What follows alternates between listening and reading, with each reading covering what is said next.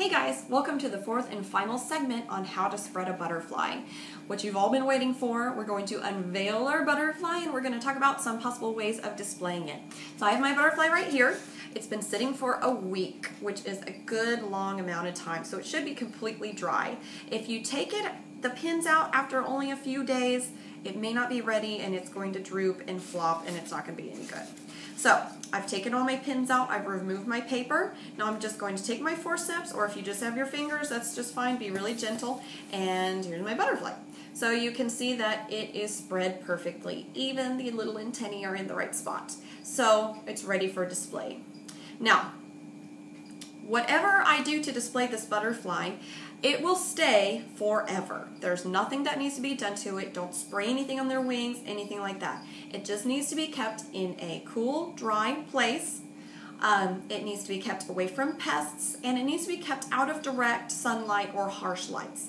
The lighting will fade it over time. So just pick a nice spot on your wall that has good lighting, nothing shining directly on it. Um, make sure you have a semi-airtight container or you can use some sort of fumigant and we'll get to that in a minute. Now as far as possible ways of displaying it, you have a few different options. Now the first thing I want to show you, it's really big, but bear with me.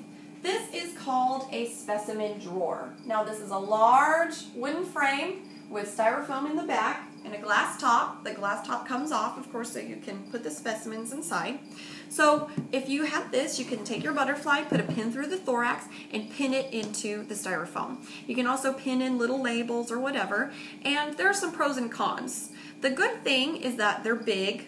Um, you can put a lot of specimens in if you have a large collection, and they're pretty nice looking. They are heavy, they're bulky, and they are not cheap. They start at about $50 just depending on um, the, what it's made out of. So if you're interested in that, they can be purchased at bioquip.com. And if you have a really large collection, you can fill these drawers up, you can put them on your wall, or you can put store them in um, a cabinet that's made specially for them called a lane cabinet. Now, if you're looking for something a little less expensive, a little easier, uh, not so scientific, you can use what we call a Riker mount. Now, these can be purchased probably at craft stores, but you might call ahead and ask, but you can definitely get them at several dealers online. And they're a really simple frame. It's got a glass top. It's got pins in the side. To open it, you would just remove the pins, take the lid off. The backing is a cotton wool. So you just basically take your butterfly, you just lay it on the, the cotton, you put the lid on, and it holds everything in place. And this will stay just like this as long as you leave it. And you can then hang this up or do whatever you want with it. Now there's another option, which is my favorite option. I like to make shadow boxes because you can make them really pretty. So if I'm going to make a shadow box, I don't use any extra pins or anything in my butterfly. I like to take a glue stick and cut about a half inch piece of it and glue my butterfly to it, just like this. So it makes like a little stage for the butterfly. I like to use glue sticks because they are clear and you can't really see them once the butterfly is put is glued down in the shadow box. You can also use um, wooden dowels or something like that, but the glue sticks are really easy to cut and work with and as long as they're not heated, they work just fine. Now once you have your butterfly glued to its little stage, you can then glue it into the back of a shadow box. You can get shadow boxes almost anywhere. I get mine at IKEA. You can also get them at probably Walmart, Target, Texas Art Supply, other craft stores, pretty much anywhere. Um, you can be really simple, just one butterfly, a simple background, or you can experiment with different backgrounds. Um, you can put other insects in with the butterflies. You can use little dried flowers, whatever you want to do. So I have this one that I made with a couple of different butterflies and this nice beetle and flowery background. So you can get really creative.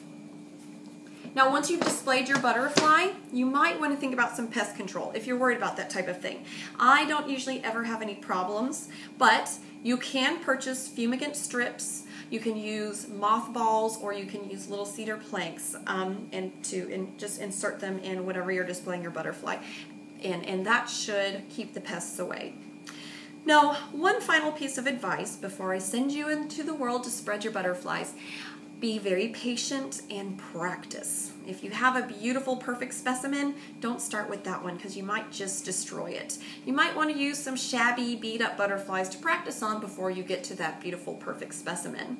We do have them available, as I said in the first video, so you can contact us if you want to try to get your hands on some good practice butterflies. Now, if you have any questions or comments, please feel free to comment on this blog or send us an email to blogadmin at hmns.org. I hope you've learned a lot from watching this series of short but informative videos, and thanks for watching. Have a great day.